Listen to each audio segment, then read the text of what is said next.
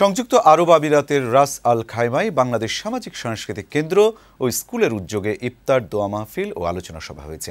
এ সময় বক্তারা বলেন, সামাজিক প্রয়োজনে এখন বাংলাদেশ কমিউনিটিকে ঐক্যবদ্ধ হয়ে সকল সদস্য কাটিয়ে এগিয়ে যেতে হবে। দেশের ভাবমূর্তি উজ্জ্বল করা প্রত্যেক প্রবাসীর দায়িত্ব বলেও জানান তারা। এ সময় উপস্থিত ছিলেন সংগঠনের সভাপতি পিয়ার মোহাম্মদ, সাধারণ সম্পাদক জাহাঙ্গীর আলম সহ দুবাই ও উত্তর আমিরাতের প্রবাসী কমিউনিটি নেতা, শ্রমজীবী ও পেশাজীবী মানুষজন।